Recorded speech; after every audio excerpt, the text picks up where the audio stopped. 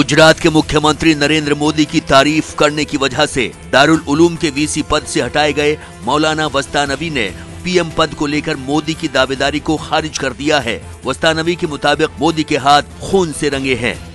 मुल्क को ऐसा पीएम चाहिए जो मुल्क को हर एतबार से हर समाज को हर मज़हब के लोगों को लेकर चलने वाला उसमें मोदी फिट होते हैं? मेरे नज़दीक मोदी उसमें फिट नहीं होते हैं। अच्छा बिकॉज़ के उसके हाथ खून से रंगे हुए हैं। एक बड़ा समाज, आज भी सिर्फ़ मुसलमान नहीं, हिंदू समाज भी।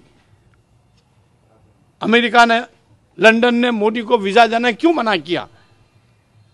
क्यों मना किया? मुझे बताओ, क्यों नहीं दे रहे वीज़ा ये लोग?